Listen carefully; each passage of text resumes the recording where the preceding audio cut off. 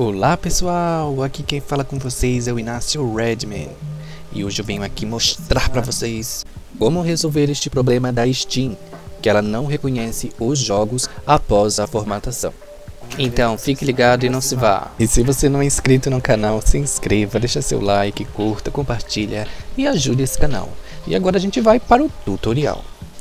Então, para a gente poder resolver este problema, nós vamos precisar vir aqui em Steam configurações.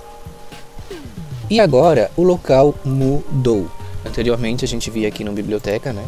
Mas agora a gente vai ter que vir aqui em armazenamento. E aqui nesse mais, você vai adicionar o local aonde está a sua Steam. Que no meu caso é aqui disco F, programas em files, Steam Library, tanto que tem 320 GB, porque tem vários jogos instalados. Né? Então você vai ter que encontrar esse local aqui, vindo em escolher outro local. Porque se eu colocar só disco F, ele vai fazer uma pasta padrão. E não vai ser naquele exato local que eu preciso. Então você vai vir aqui em escolher outro local, adicionar, disco F. Aí eu vou ter que procurar aonde que está aquela pasta da Steam. Então selecionando a pasta onde está o Steam Library, eu coloco selecionar pasta, adicionar. E agora ele já encontrou todos os jogos. Viu?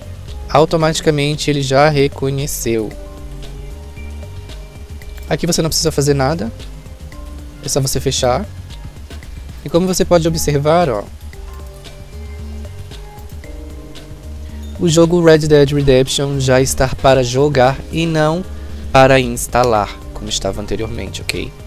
Então, galera, praticamente é isso. Você precisa ir ali no mais, achar a pasta Steam Library que contém o seu jogo e adicionar ali neste menu. Assim a Steam vai reconhecer o seu jogo e você não vai precisar aí baixá-lo novamente, ok? Então galera, esse foi o vídeo de hoje, espero que eu tenha ajudado você de coração.